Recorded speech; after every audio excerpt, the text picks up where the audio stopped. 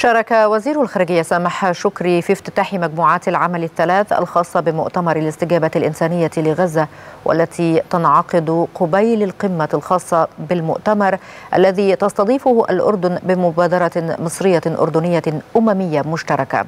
هذا وصرح المتحدث الرسمي باسم وزارة الخارجية المصرية السفير أحمد أبو زيد صرح بأن وزير الخارجية ألقى كلمة في افتتاح أعمال مجموعات العمل. استعرض خلالها الوضع المتدهور في قطاع غزة.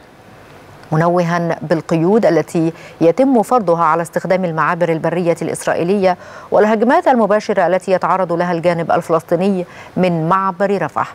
موضحا أنه نتيجة لتلك القيود وفي مسعى للحفاظ على تدفق المساعدات الإنسانية قدر المستطاع فقد قامت مصر بإرسال المساعدات للمدنيين بالقطاع من خلال معبر كرم أبو سالم. كما أشار وزير الخارجية لجهود الوساطة التي تبذلها مصر بالتعاون مع قطر والولايات المتحدة من أجل التوصل لوقف دائم لإطلاق النار.